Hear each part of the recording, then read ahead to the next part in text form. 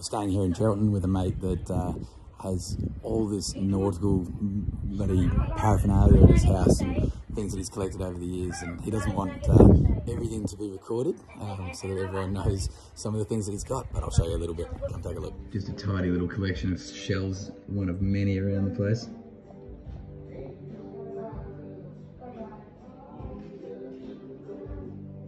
Check out the space pearl shells, nav lights, old timbers, signs, a couple of whale bones, buoys, straight in front of the beach.